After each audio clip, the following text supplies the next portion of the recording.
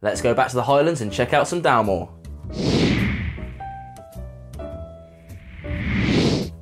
Hi everyone, welcome to episode 32 of No Nonsense Whisky Reviews. I'm Vim PF, and on today's episode we're going to go back up to the Highlands and check out the Dalmore 12 year old. This uh, here is a litre bottle, pick this up travel retail. Cost me 50 quid, pretty much dead on. About £40 for a normal 70 sil. Bottled at 40%, definitely added colour. My bottle even has it disclosed on the back. Um, this might even be a German bottling, can't remember where I got it from exactly. But um, as we'll go through in the review, um, I don't think that really matters. Now, um, Dalmore have kind of been a, a long staple of kind of premium quality.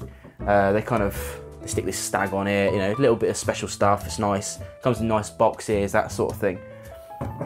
This is a very reasonable dram. Some of their other bottlings get a little bit expensive. Uh, they've also very recently done a uh, Richard Paterson collection or a Paterson collection and I think that went on sale in Harrods for the best part of a million.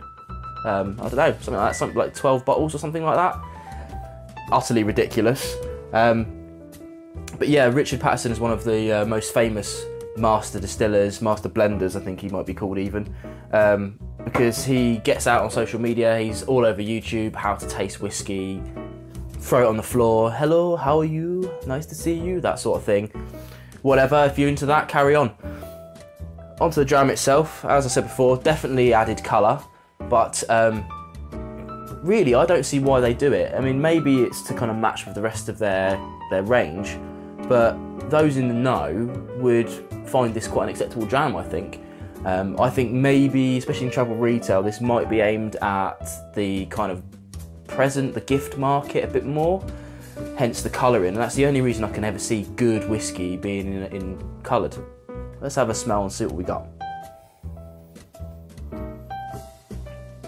Oh, I mean, I don't usually do deep um, tasting notes, but this is um, such a different dram to what I usually try. I find this, it, it, usually I'm like caramel, apples, blah blah, Speyside, blah blah blah. This one, oh, it's like, it's definitely, yeah, caramel's in there for sure, but it's almost like a dark chocolate dark chocolate caramel sweet or something like that. Kind of. I get raisins, like um, raisins in the little boxes you used to get. I forget, like Sun Pride or something like that.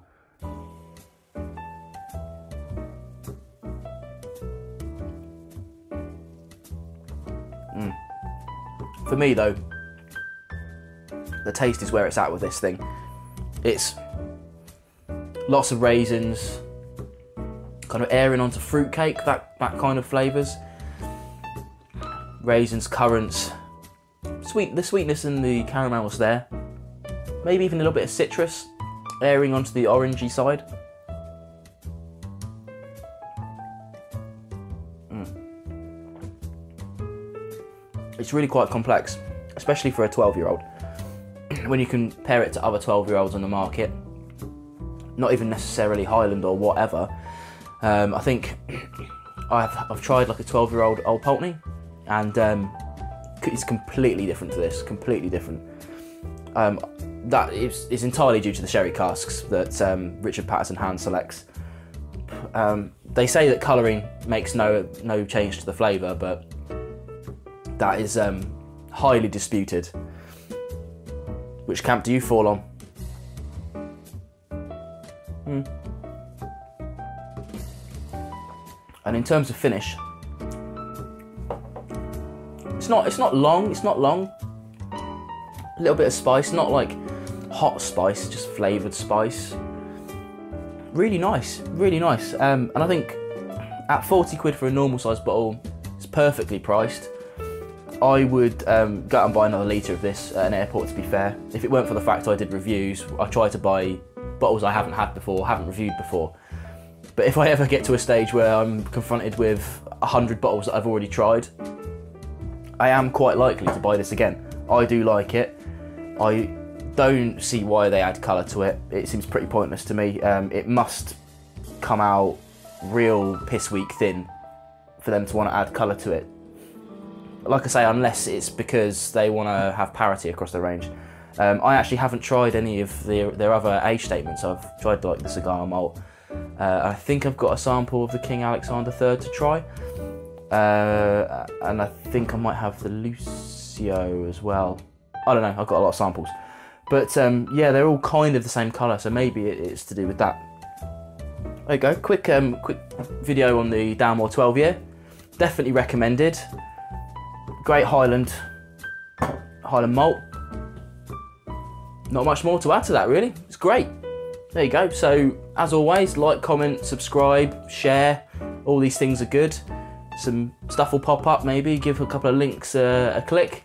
Check out some of the other videos. Uh, I've got 31 behind this one, all to try, and that's just the reviews. I've got some other bits and bobs you can have a look at as well. Subscribe and uh, you'll get a new video every Thursday. See you next time.